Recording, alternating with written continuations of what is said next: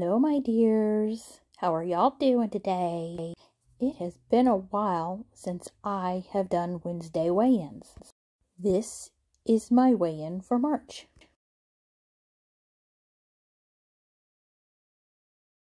Unfortunately, life is what happens when you make other plans.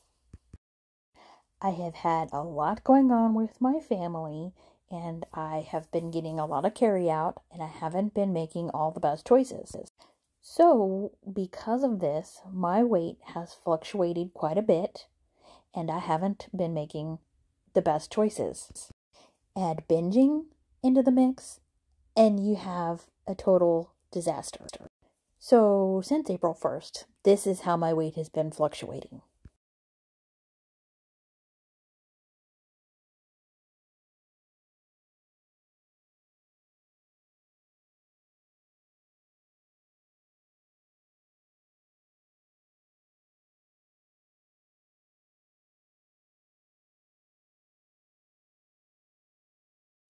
It would seem that I am bent on self destruction. This is my weight for today, April 6th. So, yeah, sabotage or destruction. And it's my goal to get back on track.